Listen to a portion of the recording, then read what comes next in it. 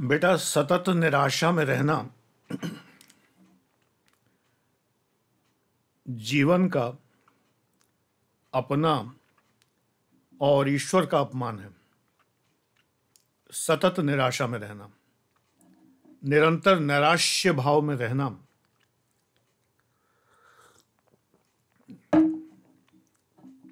if you remain disappointed every time then you drag yourself far away from your target or goal. यदि आप सतत निराशा में रहते हैं तो अपने लक्ष्य से अपने को खींच कर फेंक देते हैं, दूर कर देते हैं। निराशा में रहना क्या होता है? अरे बाप रे, इतनी किताबें कौन पढ़ेगा? ये तो बहुत मोटी किताब है, ये तो पढ़ने में ही मुसीबत हो जाएगी। ये नहीं होना चाहिए। कार्य ज़्यादा है, लक्ष्य भी तो बड़ा है। आपने I S P C S का लक्ष्य चुना है तो नेचुरली आपको बहुत ज़्यादा काम करना है। मुझसे पूछिए, दिन का आराम और रातों की नींद दोनों से दूर रहा हूँ 1981 में मुझे एक मौका मिला था कि मैं पीसीएस एग्ज़ाम दूँ। आईएएस की उम्र निकल चुकी थी 26 साल होती थी मैक्सिमम मैं 28 का था।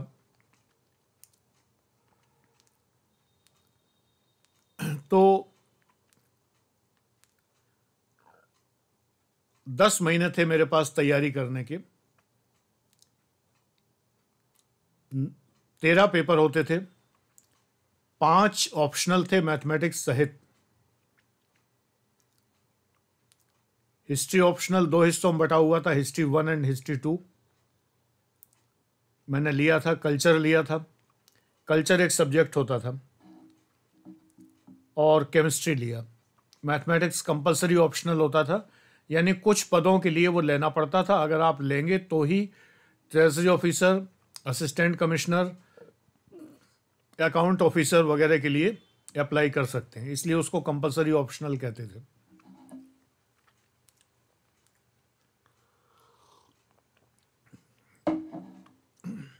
जनरल हिंदी जनरल इंग्लिश निबंध तेरह पेपर टोटल होते थे। दस महीने, तेरह पेपर बहुत नाइंसाफ़ी है। लेकिन है तो है। मेरे लिए करो या मरो था। पीसीएस का एक ही चांस था मेरे पास लास्ट चांस था 28 साल का। पीसीएस की मैक्सिमम एज 28 साल होती थी आईएएस की 26 साल होती थी। तैयारी की जी जान से जुटा, जाने कितनी मेहनत की है और पहली बार में ही सफल हुआ, ट्रेजरी ऑफिसर की पोस्ट पर नियुक्त हुआ। फिर उत्तर प्रदेश के मुख्यमंत्री ने दो साल एज और बढ़ा दी तो मुझे दो चांस और मिल गए। तो अगले साल का भी एग्ज़ाम दिया, रीजनल ऑडिट ऑफिसर सेलेक्ट हुआ। फिर अगले साल का दिया, असिस्टेंट कमिश्नर सेस्टेक सेलेक्ट हुआ, उसमें ज्वाइन कर लिया। इस बीच में मध्य प्रदेश में बीडीओ की पोस्ट पर भी एम से सिलेक्ट हुआ था। वहाँ पीएससी कहते हैं।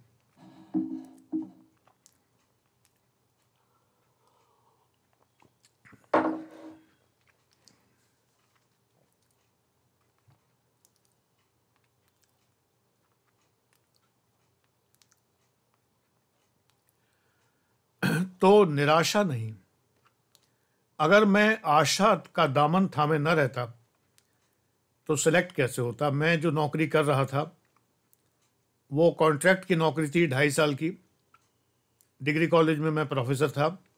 ढाई साल का ये कॉन्ट्रैक्ट पूरा कर चुका था। दूसरा कॉन्ट्रैक्ट पूरा कर रहा था। वो समाप्त होने वाला था। अक्टूबर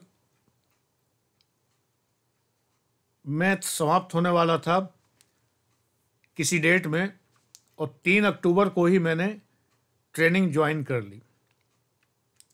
तिरासी तक के लिए मेरी नौकरी थी, इक्यासी बैच था, रिज़ल्ट रिज़ल्ट आते आते 1983 तक मेरा कॉन्ट्रैक्ट था, अक्टूबर 1983 तक। और तीन अक्टूबर 1983 को मैंने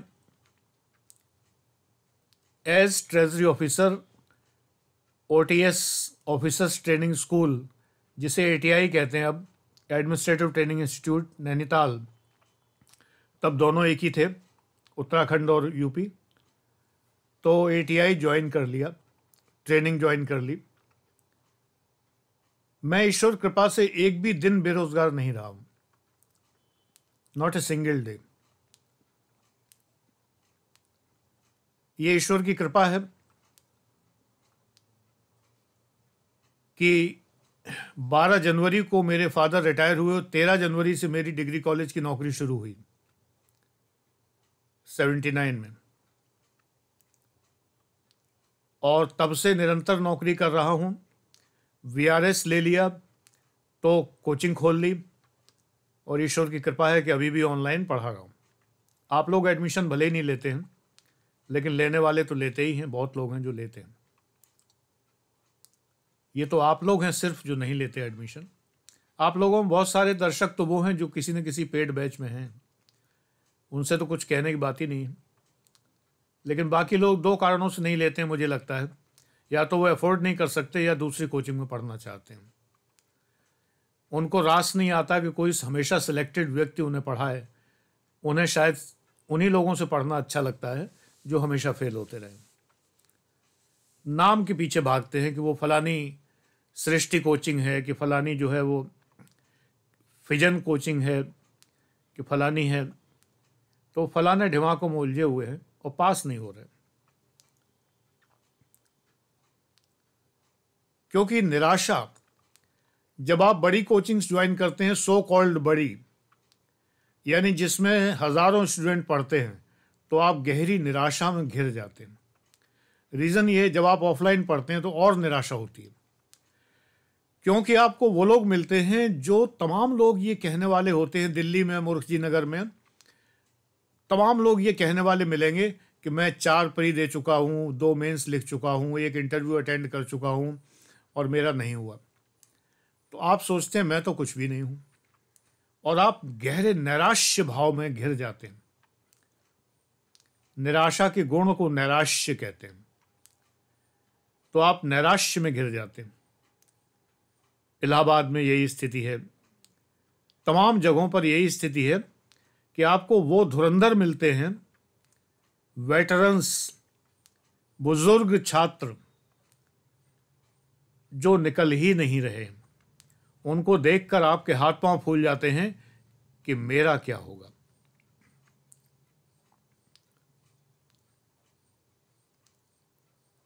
ये निराशा आपको निकलने नहीं देती। इसके विपरीत यदि आप ऑनलाइन पढ़ते हैं सेल्फ स्टडी करते हैं तो आपको वो लोग नहीं मिलते कम से कम जो सदैव फेल होते रहे। इवन आपके टीचर्स दिल्ली में वही होते हैं जो हर बार एग्ज़ाम देते हैं और फेल हो जाते हैं। तो आपको लगता है जब गुरुजी नहीं निकल पाए, जिन जो बहुत अच्छा पढ़ाते हैं, फलाने सर तो इकोनॉमिक्स इतनी बढ़िया पढ़ाते हैं। बढ़िया। इलाहाबाद की बोली, बढ़िया। इतनी बढ़िया पढ़ाते हैं। जोग्राफी तो ऐसे बढ़िया वो वाले सर पढ़ाते हैं। हिस्ट्री तो कमाल पढ़ाते हैं। लेकिन ये जितने कमाल बढ़िया, बहुत बढ़िया, जितने सर हैं, जब ये एग्ज़ाम देते हैं, सब देते हैं एग्ज़ाम तो ये सब फेल हो जाते हैं।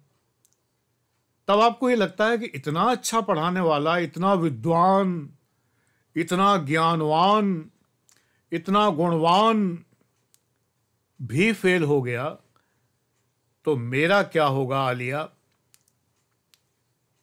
ये लगता है।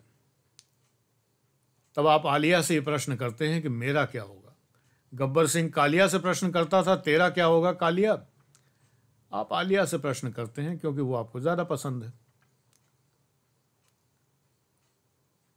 और अंदर से आवाज़ आती है, मेरा कुछ नहीं हो सकता, मेरा कुछ नहीं हो सकता, मेरा कुछ नहीं हो सकता, जब इनका कुछ नहीं हुआ तो मेरा क्या होगा? ये निराशा आपको निकलने नहीं देती।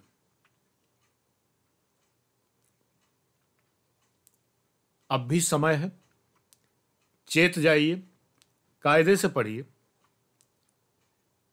छोटा सा भी बैच अगर आपने मेरा ज्वाइन किया होता तो आपको समझ में आ जाता कि स्टडी होती क्या है। उनतीस सौ का बैच था मात्र। आज उनचास सौ का है।